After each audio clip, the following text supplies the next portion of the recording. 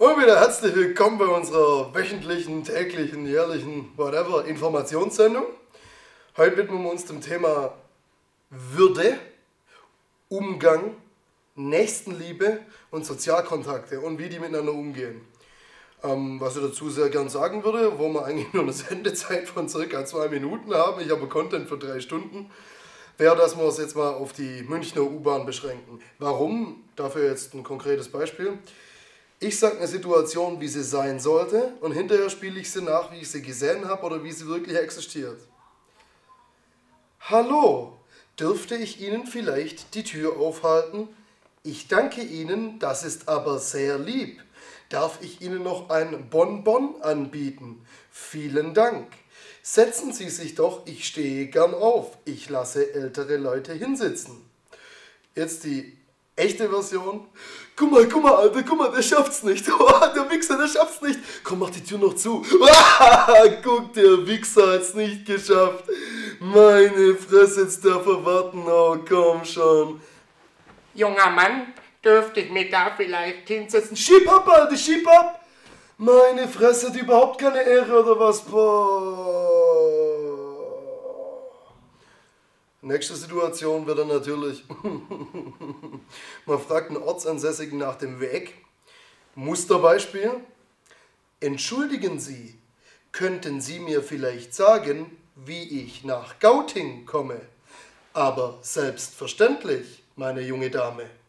Du nimmst die S. S. Tja, das seht ihr, ich könnte auch niemand weiterhelfen. S179 und steigst in Gauting aus. Ich danke Ihnen. Wie kann ich das nur gut machen? Darf ich dir ein Bonbon anbieten? Selbstredend, ich danke Ihnen. Es schmeckt gut. Ich glaube, es ist Multivitamin. Jetzt die richtige Situation. Ähm, Entschuldigung, Entschuldigung, äh, können Sie mir vielleicht sagen, wie ich nach Gauting komme? Was wollt ihr Wichser eigentlich? Ah, Entschuldigung, Entschuldigung können, Sie mir, können Sie mir vielleicht sagen, wie ich nach Gauting komme? Ah, es kommt ganz drauf an, was du mir für Frondienste leisten kannst, ne? Ah, Entschuldigung, Entschuldigung, wie, wie komme ich, hin, ich nach Gauting? Ah, gehst du einfach mal die Treppe da hinten hoch. Ich habe zwar in Wirklichkeit keine Ahnung, aber gehst mal die Treppe da hinten hoch, damit ich dein hässliches Visage nicht mehr sehen muss, ne? Ja, traurig, aber wahr.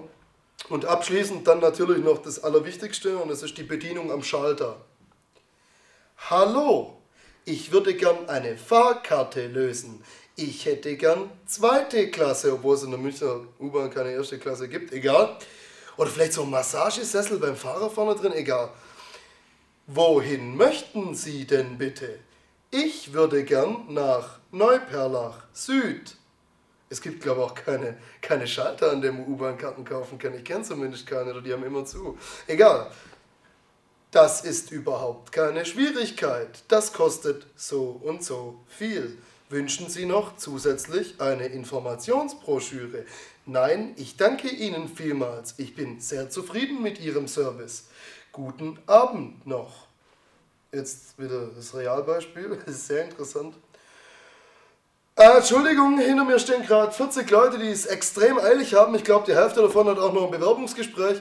Aber weil ich so viel Zivilcourage besitze, dass ich auf die alle scheiße, brauche ich jetzt hier erstmal 50 Minuten und lasse mir jede einzelne Haltestelle und die Möglichkeiten, wie ich da hinkomme, aufzählen. Drei Stunden später. Ah, aber auf dem Plan sieht die rote Linie einfach erotischer aus wie die blaue Linie. Ich weiß auch nicht. Wie komme ich denn da dahin? Ja, dann müssen Sie da und da hinfahren. Und, und wie komme ich da genau hin? Oh, da steigen sie dort ein, steigen da um und dort hinten dann schönen Abend noch der nächste. Ja, ist sehr traurig mit den Umgangsformen heutzutage, aber ich meine, wenn jeder von uns einmal am Tag nur nett wäre zu jemand anders, könnte dann die Welt nicht zu einem Paradies werden? Stellen Sie sich die Frage, habe ich das jetzt wirklich gesagt? Oder war das einfach nur ein Ausdruck unserer Einsamkeit? Ich bin Jonathan Aykroyd. Willkommen bei Psy X Factor. Guten Abend.